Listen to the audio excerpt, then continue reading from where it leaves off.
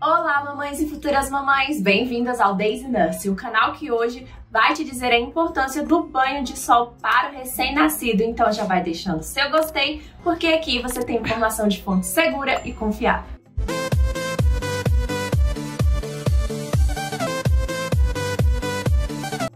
Mas antes de ir pro vídeo, gente, eu quero lembrar vocês que amanhã, segunda-feira, começa a semana do parto humanizado aqui no canal. E é claro, né, que eu conto com a sua presença, então não perca, me acompanhe durante a semana, que eu vou estar postando vários vídeos super legais sobre o parto humanizado, eu tenho certeza que vocês vão gostar. Eu penso que quase todo mundo já sabe que quando um bebê nasce, né, uma das orientações para quando ele volta para casa é que a mãe é, ou algum responsável dê o banho de sol nessa criança. Mas para que serve esse banho de sol e o mais importante, né, como fazer? O banho de sol ele vai promover é, a elevação dos níveis de vitamina D no corpo da criança e também no nosso, né? Não só o bebê é importante tomar esse banho de sol, como os adultos, mas é, tem-se um cuidado né, bem especial quando essa criança nasce é, para que esse banho de sol aconteça. É, aumentando os níveis de vitamina D, vão existir vários benefícios para o nosso corpo. Eu vou citar alguns para vocês, que é o aumento da vitamina D, né? Vai promover é, a formação dos ossos, dos dentes, vai aumentar o sistema imune, combater gripes, resfriados, é, vai prevenir doenças cardiovasculares, vai também é, evitar, né, aquela icterícia, que é aquele bebê amarelo, né? Porque quando o bebê tem muita icterícia, ele precisa passar por um procedimento chamado. Meu Deus, que esse nome fototerapia.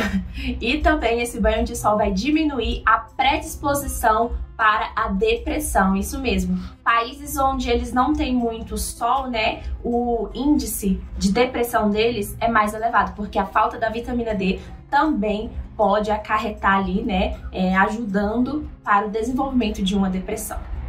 E vamos para os cuidados com esse banho de sol. Primeiro vamos começar pelo horário, né? O indicado é que ele seja antes das 9 ou depois das 5. É, mas também é legal que você observe como é que tá o clima, né? Porque já que o banho de sol deve ser com a criança o mais despida possível, né? Você tem que tirar ali todo o excesso de roupa, então se estiver muito frio, não vai ser legal, né? Mas estando aquele solzinho ali agradável, não tá aquela ventania, aquele frio exagerado, daí você vai lá, tira o excesso de roupa da criança, né? Atentando-se ao horário antes das 9 ou depois das 5 da tarde não é legal que você use protetor solar, né? A recomendação para o uso do protetor solar é a partir dos seis meses, né? E também tem que ser um protetorzinho ali específico para o bebê. Não é legal você usar antes dessa idade, porque pode provocar ali até mesmo uma alergia. Observou o horário, o clima, é, tirou a roupinha do bebê? Legal, agora você vai é, escolher um ambiente onde ele tem assim uma exposição direta ao sol, né? Se possível, é melhor do que às vezes ter um vidro, né? Você, ah, vou colocar ele aqui, já vale, mas se puder colocá-lo em uma exposição direta ao sol vai ser mais legal. Escolha um ambiente tranquilo, proteja a cabeça e o rostinho do bebê. Por quê? Ninguém gosta de ficar ali com o rosto diretamente na luz, né, gente? Incomoda bastante. O bebê também vai se sentir incomodado com isso. Também não é legal você dar esse banho de sol onde tem muita gente, porque ele tá novinho, não tomou todas as vacinas, né? Aí já vai estar tá prevenindo que ele contraia alguma doença.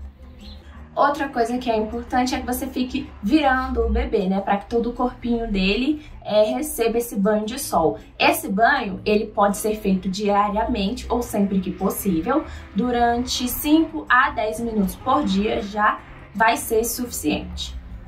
E por último, mas não menos importante, observe é, se o bebê vai ter alguma reação negativa a esse banho de sol. Por exemplo, é, ah, percebi uma irritação na pele, ou então percebi que ele fica muito nervoso, agitado. Aí é legal que você procure né, o seu pediatra, leve ele para uma consulta, né, para estar tá esclarecendo as suas dúvidas, né, e também fazendo a avaliaçãozinha ali nesse bebê. Muito bem, gente, esse foi o vídeo de hoje. Eu espero muito que vocês tenham gostado. Se ficou alguma dúvida sobre o banho de sol, comenta aqui pra mim que eu vou estar respondendo. Não esquece de deixar o seu like, já se inscreve no canal se você não é inscrito para não perder nenhum conteúdo e também ative o sininho. É, se você acha que esse vídeo pode ajudar alguém, compartilhe e eu te espero amanhã, tá? Pra ficar aqui comigo durante a semana do parto humanizado. Beijos e até o próximo vídeo.